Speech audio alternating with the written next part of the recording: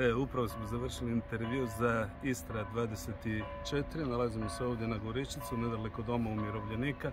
Negdje u trećem mjesecu započinje njegova dogradnja. Dole vam je crkvica Svete Ane, iza mene je vjerojatno najljepši grad u Istri, grad Buzet, a tamo preko puta su Kajini.